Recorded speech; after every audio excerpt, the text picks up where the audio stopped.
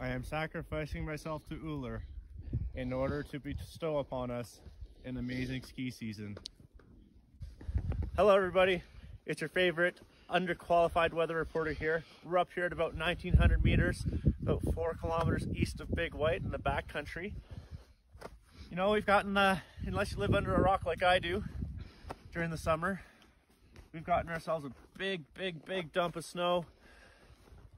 Uh, it's accumulating up to about, you know, 120, 100 centimeters in spots as a base. Yep. And it's November 5th. Yep. So that is like freaking amazing.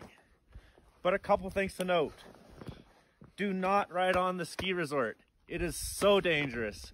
You can think of a ski resort when they're closed as a construction site. Today, while I was sweeping out, we felt a couple whumps. We've seen some shooting cracks, all the telltale signs of, you know, potential for avalanche activity. We're going to be skiing out here in some low angle trees, so we're keeping it nice and nice and conservative. But if you were to, for example, today go out and potentially ski the cliff, you might get yourself caught in an avalanche. So, always, always, always wait for the ski resort to open.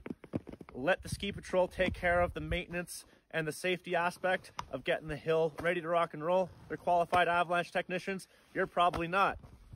And as always, have a great day. Enjoy the fresh air. We're gonna need bigger skis. We should have brought a bigger boat.